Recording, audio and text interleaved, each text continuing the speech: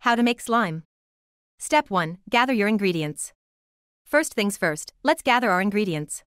You'll need glue, a clear or white, a slime activator, like borax or saline solution, and any optional add-ins like food coloring, glitter, or beads. Step 2 Choose your glue. Decide on the type of slime you want. Clear glue will give you a translucent slime, while white glue provides an opaque base. The choice is yours. Step 3 Measure your glue. Measure out your glue. Depending on the size of the slime you want, you can start with a few ounces or more. Pour the glue into a mixing bowl. Step 4 Add optional coloring or glitter. If you want to add some pizzazz to your slime, now's the time. Add a few drops of food coloring or a sprinkle of glitter. Mix it in well for a vibrant result. Step 5 Prepare the slime activator. Next, prepare your slime activator. This can be a borax solution, 1 teaspoon of borax dissolved in 1 cup of warm water, or saline solution. Stir it well until fully dissolved. Step 6 Gradually add the activator.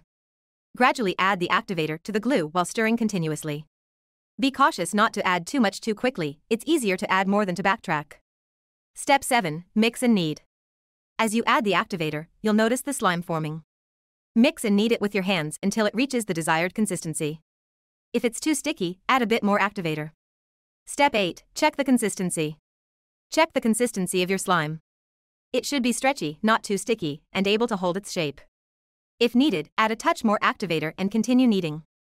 Step 9 Add texture or beads, optional. For an extra sensory experience, consider adding texture or beads. Foam beads, glitter, or even small toys can enhance the fun factor of your slime. Step 10 Store your slime. Once your slime is perfect, store it in an airtight container to prevent it from drying out. Make sure to seal the container tightly after each use.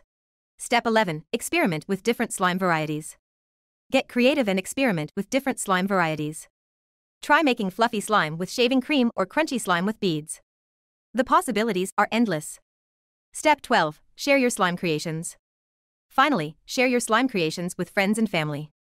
Snap some pics or videos of your slime in action and spread the slime love. And there you have it, a comprehensive guide on how to make slime at home. If you enjoyed this video, give it a thumbs up, subscribe for more DIY fun, and let me know in the comments what type of slime you love the most.